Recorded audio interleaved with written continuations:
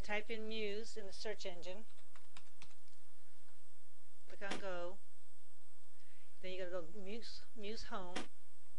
Double click on the little mouse. Now, it's going to ask you for your username. It's going to be HCS lowercase backslash and then your Windows login. And your password was going to be what your Windows login is. Now it'll take you to Welcome to Muse Cardiovascular Information System website. You're going to click on Display Pages Using Frames. Now you come to a spot that says please enter a patient ID or patient name in the form above.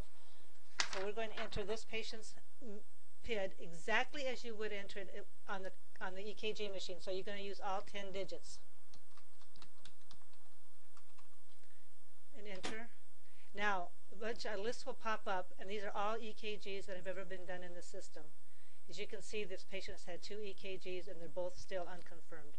If you double click on it, whatever one you wanted to look at, on the EKG report, you'll show the EKG. So you can expand it, so you can see a bigger picture of it.